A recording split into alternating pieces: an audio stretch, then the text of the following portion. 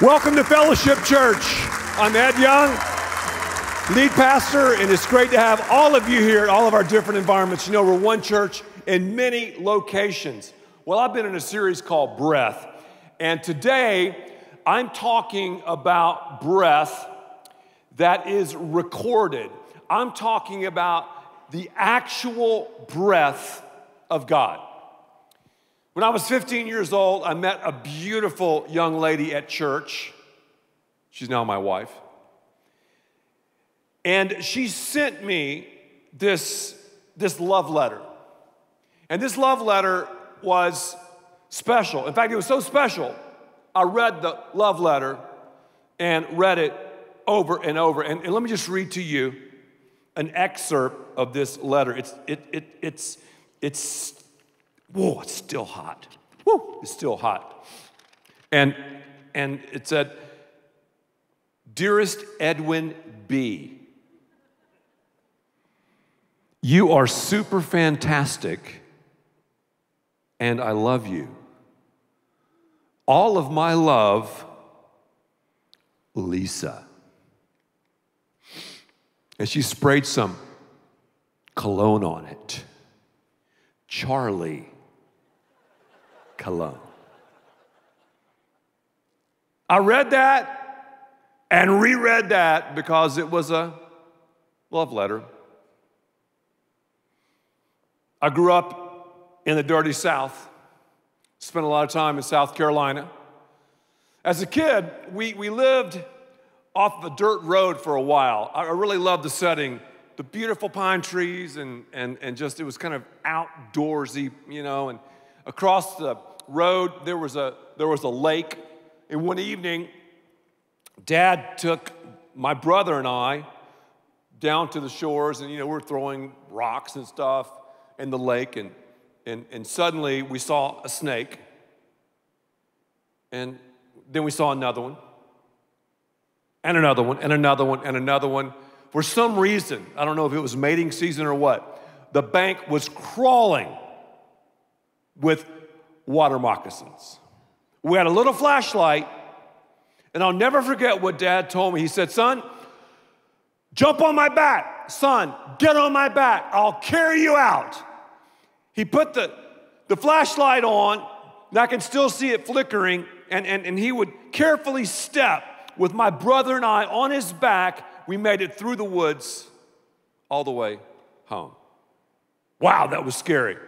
I spent a lot of time outdoors. I've never seen that many snakes in my life in one area. Lisa and I have had Dobermans for a while. Now we have one. The other one has, has passed on. I've had this Bible for a long time. In fact, my, my mother gave me this Bible when we opened the doors of this facility in 1998. I usually preach from this Bible. And anyway, the other day, our Doberman was in my office at home and he ate part of the book of Jeremiah. I'm going to show you, I even saved it. Jeremiah, Jeremiah, there it is, Jeremiah. Oh, yeah, look, look. He ate it. And I was upset at Dutch, but can you really get that upset at a Doberman? I was in Africa a couple of years ago in a place called Johannesburg, Pretoria, Bloemfontein. And between some speaking engagements, the pastor of a church took Lisa and I out to this zoo. Now, a zoo in Africa is the real deal. I mean, there are all sorts of things, you know.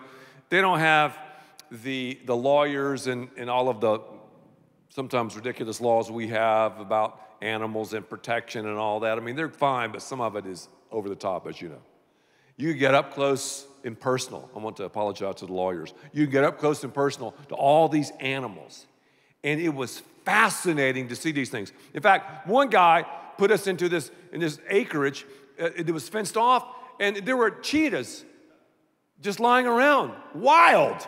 And he would come up to them and, and, he, and he, he, okay, just stick your hand out and pet the cheetah. And we actually petted the cheetah.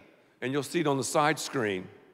That's Lisa and I petting this cheetah. And you could hear him purr. It, it, it, it was crazy, the, the zoo. The zoo. All the things I just described to you, all of the stories I just told to you, have to do with the subject matter that I'm talking about today. They have to do with the Bible. The Bible, 2 Timothy chapter 3 verse 16 says, the Bible is the very breath of God. Right now you're hearing the breath of Ed. My breath is moving over my vocal cords, my vocal cords are vibrating, you hear the breath of Ed. We have the breath of God in the Bible. We have the breath of God. We have a record of the breath of God. People say, Well, I wish God could speak to me audibly about my relationships.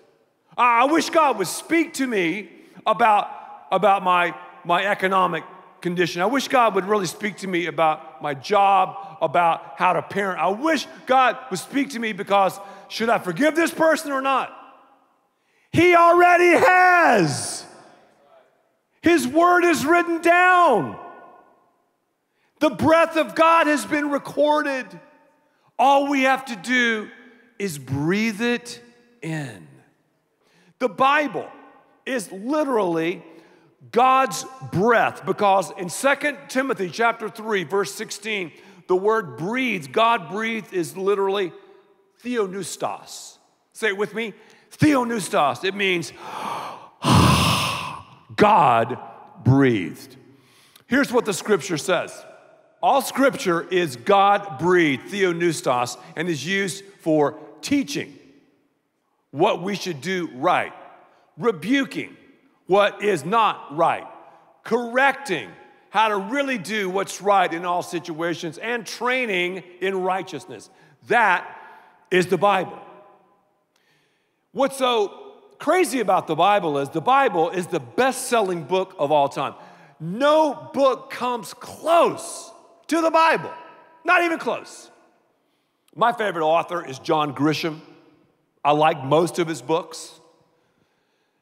I think it would be great to sit down with John Grisham and talk with John Grisham, have coffee with John Grisham, maybe share a cup of hot cocoa together with John Grisham so I can read his book and I could just kind of talk to him, ask him questions about, hey, that character, how do you develop that? Where did you get that idea? I can't do that. I don't know John Grisham. When I read the Bible, it's the only book where the author is all around me and in me because I've inhaled the breath of God and I'm breathing the breath of God and I'm reading and understanding the Word of God. The Bible is the Word of God. You know, the Bible says that about itself in the Old Testament 4,000 times the Word of God. So it's the breath of God. The breath of God is the Word of God. 4,000 times it's the Word of God. In the New Testament, 44 times it says the Word of God. So we have the Word of God. And when we started fellowship 25 years ago, we said, okay, we are going to be a Bible teaching, Bible believing church. It's that simple. That's who we are, that's what we are. We have no man made creed, no group in Nashville or Paraguay telling us what to do. We're a Bible teaching, Bible believing church. So when anyone ever asks you, hey, what kind of church is Fellowship Church? We're a Bible teaching, Bible believing church. The Bible is the Word of God, and it teaches us about God, and we worship the God of the Word. Some people, though, over the years, because the Bible is by far the best selling book of all time, it is also the most dissected and the most maligned book of all time.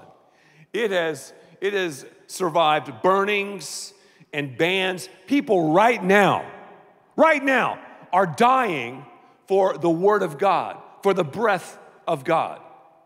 Evil people are taking the lives of Christians And sadly, our government, so many leaders in our government are just turning their head the other way. They're sticking their heads in the sands of denials. They will not call it what it is a war between good and evil, a war against the Word of God, a war against Christianity. And it's time that we have some leaders, some men and women in Washington to stand up and to speak truth and to say, you know what?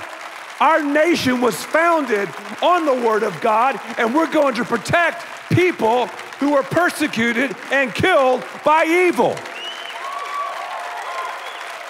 Somebody help me preach. So we've tried to, to deny that the Bible is the Word of God. I, I talked to someone a couple of months ago, and this person was telling me, Oh, I've got problems with the Bible. Well, very, very quickly, I asked him some basic questions about the Bible. He didn't know jack about the Bible. And I'm thinking to myself, hmm, so you deny Scripture? He's like, Yeah, yeah. I just think the Bible's been tweaked over time, it's been changed, you know, blah, blah, blah, what everyone says who has a vested interest in keeping God out of their grill. The more I talked to him, though, I discovered he'd been messing around on his wife. And I'm like, oh, I got it now. I got it now. See, you've, you've got a vested interest in keeping God out of your business. So we deny it. We watch one little show or hear one little Dr. Fuzzy Face give us a lecture at the local university and say, oh, the Bible, hey, the Bible is the most accurate ancient piece of literature ever. For example, take, take the words of Plato or Aristotle, take their works. You got barely 10 copies. Of the New Testament alone, we have over 14,000 copies. So if you just take the classical historical method and put it to the test and put scripture to the test, it passes with flying colors. Archaeology is behind the Bible, geography is behind the Bible, science is behind the Bible. So if you really want to discover and know all the stats and the minutiae, we have amazing resource centers at all of our campuses. So all you got to do is go back there, and I have a list of some books that I would like for you to pick up, or you can, you can do that online. Well, the Bible, though, speaks for itself. It's like, it's like that lion that I, that I saw in Africa. I mean, you just let the lion roar, brother. I mean, the lion is a lion is a lion. That's the Bible. Yet we've tried to deny it people try to distort it. They, they, they take different verses out of context and build weird and wacky theologies around verses out of context. Because whenever you take a verse out of context, you can, you can make the Bible say anything you want. Well, you've got to take it in context. You got to look at it from history, from the setting, the author, and take the totality of it. Here are just some, some, some, some things that you might find interesting about the Bible. Nelson Glueck, renowned Jewish archaeologist, says it may be stated categorically that no archaeological discovery has ever controverted a biblical reference. William F. Albright, archaeologist, quote, there can be no doubt that archaeology has confirmed the substantial historicity of Old Testament tradition. Josh McDowell, evidence that demands a verdict. Quote, the Bible, compared with any other ancient writings, has more manuscript evidence than any 10 pieces of classical literature combined, unquote.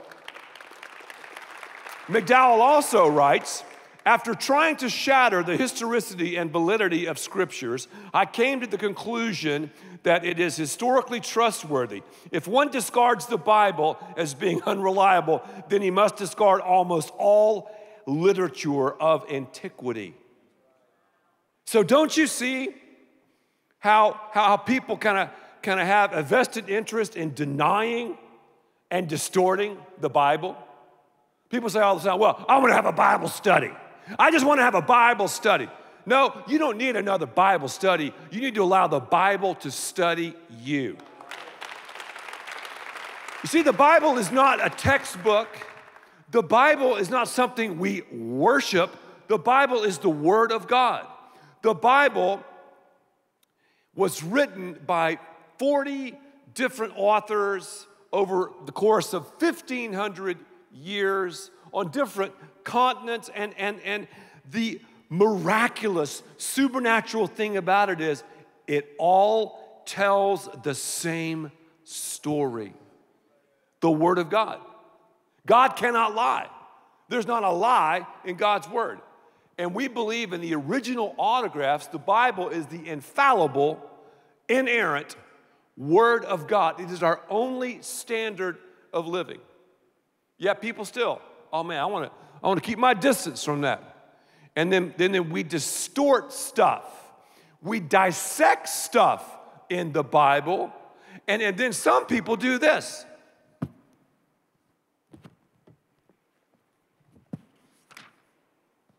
Hmm. Wow, I don't, I don't like that. I don't like that verse about, about bringing the whole tithe into the, into the storehouse. I'm just gonna take that part out of the Bible. I don't, I don't like tithing. What? I mean, the first portion of my income should go to the local church. Oh, man, there, there, there it is again in Malachi. I, no, uh, I, I don't like that. I don't like that. Oh, okay. Um, Envy? Envy? Uh, I, don't, I, don't, I don't like that. I don't like that. Envy. Uh, well, see, my God is a forgiving God. And even though I'm having sex outside of marriage, everything is cool. I mean, God just wants to, I don't like that sex outside of marriage. No, I. Isn't it fascinating how we tear apart the Bible, how we edit the Bible ourselves, how so many people do that. Why? Because the Bible is the only book that when we read it, it reads us. The Bible, the breath of God. The Bible is a love letter. I mean, it's, it's a love letter. Lisa wrote that love letter to me. I read it over and over. That's what the scripture is. Jeremiah 31 says, I've loved you with an everlasting love. I've drawn you with loving kindness. It's God's irresistible, one of a kind love that draws us to Him.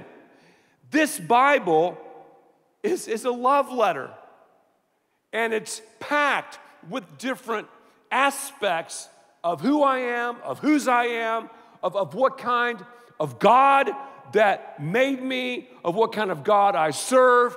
It tells me how to live my life in every single area. There's no book like it.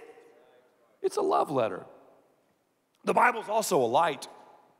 Maybe you're like, okay, man, I'm surrounded by watermarks right now. This addiction is messing me up this, this, this depression, depression is getting the best of me. Man, this person has betrayed me and I'm, and I'm, and I'm waiting to get them back. Or I don't know what step to take next. I mean, where do I go as I negotiate the maze of life? Well, Psalm 119, 105, your word is a lamp, it illuminates, right, to my feet.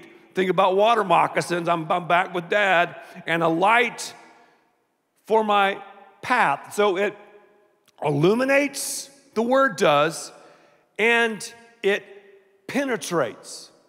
When you drive at night, you know, you're, you're out there at night, you, you turn your headlights on, and your headlights only reveal to you a certain amount of the freeway or the road. Yet you have faith to keep on going. It gives you just enough light to keep on going. And that's the Bible. We read the Bible, we, we digest the Bible, and man, we see how to live. The Bible is a love letter, it's a light, it's also a lunch. It's a lunch. Jeremiah 15, 16. When your words came, I ate them. You know what I love about fellowship? We're a diet and exercise church. As you've heard me say a squillion times. And that's what the Bible says. The Bible says we eat the Word of God, we feed on the Word of God. The calories give us the energy to push away from the table and to do the stuff.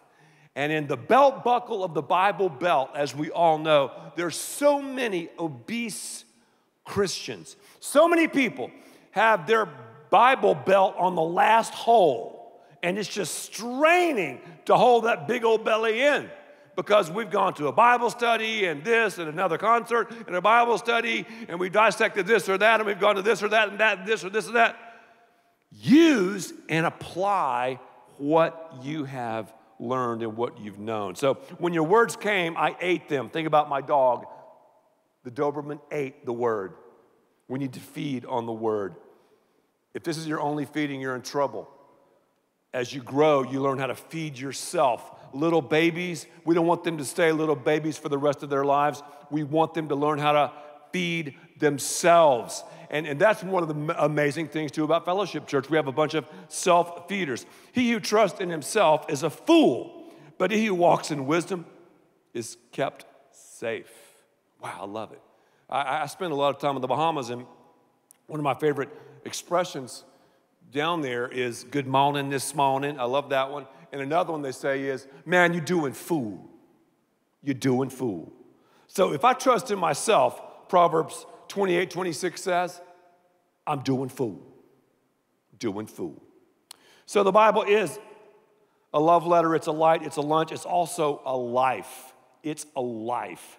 It's, it's, it's a zoo because this word living, I'm going to read to you in Hebrews chapter 4, verse 12, is the Greek word zoo.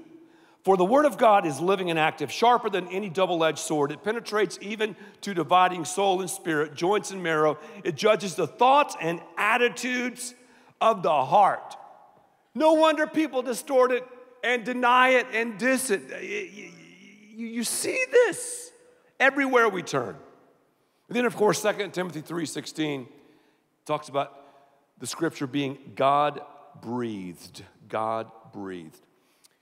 So, when we receive the breath of God, we have the life, the resurrection, and the life. Jesus exhales on us, and we have an opportunity to inhale his forgiveness and grace and his mercy. And once I do that, I'm born again. Watch this. March 16th, 1961, I came into the world, I breathed my first breath. Doctor slapped me on my bump, rump, bonky, whatever you want to call it, and I, and I took in my first breath. I was born. Okay. Then I was born again when I inhaled the breath of Jesus as a young guy. And that's why I'm so thrilled to see children and students receive Christ. Because if you look at the stats, once a kid gets over 18 years of age, the percentage of them breathing in the breath of God goes down dramatically. So that's why I'm happy I made that decision as a kid, and I'm happy that so many of you did as well. I was born March 16th, 1961. Then I was born again when I was a kid in church. So if I'm born twice, I die once. However, if I'm born once, I die twice. I die, and then I spend eternity separate from Jesus. Have you been born again? Have you received the breath of God? Because this book, the Word of God, tells me how to breathe. I breathe in, I'm a Christian, I'm born again, yet in this world, the Bible says we're in the world, but not of the world. This is my oxygen tank. You know, I've, I've swam with sharks before. And I had to go down 50 feet to swim. And I'm not even certified. That was stupid, but I did it. This aerator in the oxygen tank kept me alive underwater. I breathed in, breathed out. This word teaches me, it shows me, it gives me life. It's like, it's like an oxygen tank as I'm swimming in this world. Without it, I'm shark food, I'm shark bait. So every single day, we've got to take in the breath of God. We've got to read the Word of God. Now and then I hear someone say, Yeah, God told me. Really? Really? God, God told you? Well, God's never going to tell you anything that is contrary to His Word. And so often, we're going to pray about stuff that we shouldn't even pray about. It's already written in God's Word. God has told us how to live, how to deal with the opposite sex, how to have the best friends the right day, how to get married, how to parent, how to handle our finances, how to deal with stress and anxiety. The Bible is the breath of God, the Word of God, it's the oxygen. When I was in high school, my parents gave me a Bible. And when they gave me this Bible, I'll never forget it. Dad came in and he said, I want to write something down in the front of your Bible. And dad has horrible penmanship. I mean, he, he does it right. You can't, even, you can't even read anything. Yet he printed it. And here's what he said, and I'm going to read it from my Bible. He said, When you read God's word, study it through, pray it in, live it out, and pass it on. You know, I, have tried as a follower of Christ, as someone who uses the Bible as an oxygen tank, to live that out. I've tried. The breath, the recorded breath of God. Well, here's our homework very simple. I'm going to challenge you to just take 11 minutes a day, just 11, and find a place, begin with the book of John, read the Bible 11 minutes a day and ask God this question God, how can I apply this in my life? Begin to journal that. You do that for 30 days. If your life is not transformed, if your breathing has not been totally resuscitated and changed, I'll do a somersault off this stage. Now, some of you going, well, I just don't, I just don't feel like the Bible is true. You know, I don't feel like the Bible is true. It doesn't matter if you believe it or not. I mean, truth is truth. I could go to New York right now and say, you know, I don't believe in the law of gravity, jump off the Empire State Building. Maybe Brad is on the 100th floor and he goes, Ed, how's this going? As I'm falling. And I can say, so far, so good, man. But I'm going to hit the pavement.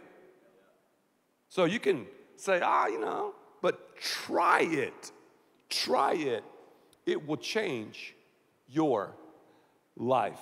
We're under the authority of God's word. Get under it, meditate on it, read it get to know it, study it through, pray it in, live it out, and pass it on. So maybe you feel like your life is just ripped apart. You've edited the Bible yourself. Once you begin this reading plan, I'm telling you, God will take all these pieces and put them in order. He will put them in order, and you can have the kind of oxygen tank that you need to live, breathe, and thrive in this environment. As you exit, we're going to give you a reading list of the book of John. 11 minutes a day. After you, then you read, you say, God, speak to me, apply this to my life. Find a place, a quiet place. You can sit still and just spend those 11 minutes. I promise you, you will be able to breathe. You'll have life and energy and purpose, and you'll see people and situations like you've never seen before. So let's give the first blast of offensive energy in the morning to the Lord. When we give Him that first, He blesses the rest. So as you exit, we have those reading lists for you. Also, too, at our different resource centers, we have a reading list. If you want to learn more about the origins of our Bible, the translation of our Bible, if you really want to see some of those, some of those things, or Tian Moon is a phenomenal teacher, and her message is available on the Bible, on the specifics as far as the translation, the orientation, and the preservation of the Bible. Please pick it up because I'm believing we're going to have people who move from cynics to skeptics, from skeptics to seekers, from seekers to those who were rescued, who were saved by the breath of God. Also, too, make sure to check out University of Next Level. Our very own Dr. Tracy Barnes teaches classes on the validity and the beauty of Scripture. I'll see you guys next time as we continue to breathe. Let's bow for prayer. God, I thank you that we have the freedom to worship you. And I thank you for your word that is sharper than a two edged sword, that is a lion, that's tough and tender, but that is convicting. I thank you for giving us, for recording and revealing and maintaining this amazing book. I pray, God, that every person here would begin to read the Bible, even if you're like, I'm not sure I believe it. You begin to read it, and I promise you, God will breathe on you. He will. So it's my prayer that we as a church, as we move through the book of John over the next 30 or so days, that, that we do this and that we start this daily discipline. For those here, Father, who maybe have ripped some pages out, who've become editors. God, may we understand that every word that you have breathed is for our best interests. Others here, Lord, if they have never, ever, ever been born again, they can receive your breath. You took your first breath when you were born, but it's time to take this supernatural breath of Jesus. You can do it right now by saying, Jesus, I want to, to receive your breath. I believe, just say that, that you lived and died and rose again. And at this time, I inhale the breath of life and resurrection that you exhaled. Even though I've got bad breath, Lord, I know you lean into it and you receive it. And I want to walk in your breath. We ask all these things in Jesus' name. Amen. Amen.